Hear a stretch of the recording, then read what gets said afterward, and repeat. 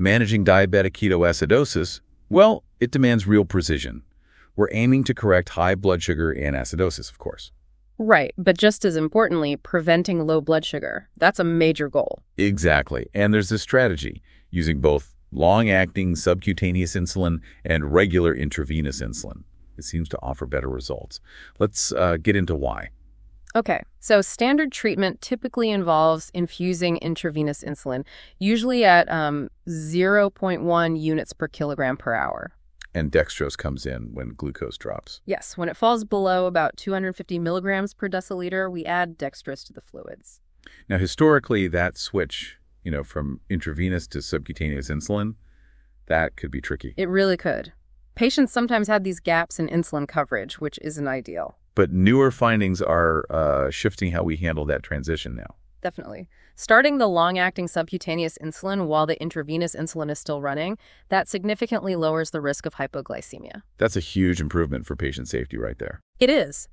And combining subcutaneous glargine, for instance, with the intravenous insulin seems to speed up resolving the acidosis too. Faster resolution. In adults and kids. In both, yes. It's a significant benefit. Plus, using that subcutaneous basal insulin early helps prevent blood sugar from shooting back up that rebound hyperglycemia after the intravenous drip stops. Okay, so practically speaking for clinicians listening, when should they actually give that subcutaneous dose? What's the window? Good question. The recommendation is typically two to six hours before you plan to stop the intravenous insulin infusion. Two to six hours beforehand.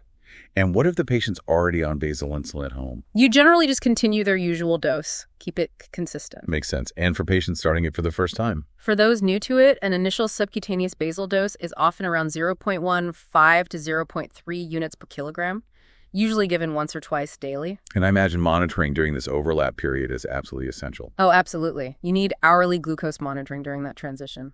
Very important. Right, because you might need to adjust the dextrose infusion too. Exactly. You might need to tweak the dextrose infusion rate to prevent glucose from dropping too low. In quality improvement projects, they back this up, this optimized overlap. They do. They show it minimizes those insufficient transitions, those gaps we talked about. And importantly, this approach doesn't seem to increase the risk of low potassium. Or longer hospital stays. Or longer hospital stays, correct. That's key.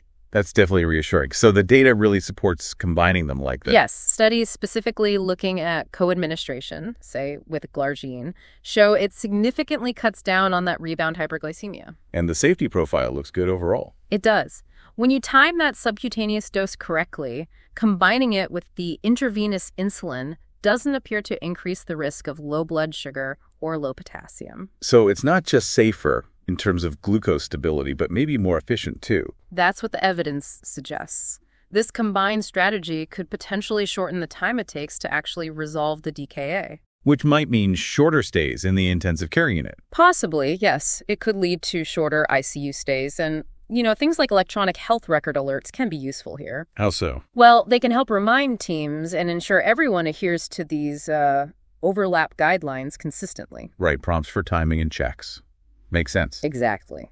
So wrapping this up then, it sounds like incorporating subcutaneous long-acting insulin early during DKA treatment is a safe and effective strategy. That's the bottom line. It really helps stabilize patients. And makes that transition off the intravenous insulin much smoother. Smoother. And it helps prevent those potentially dangerous swings in blood sugar.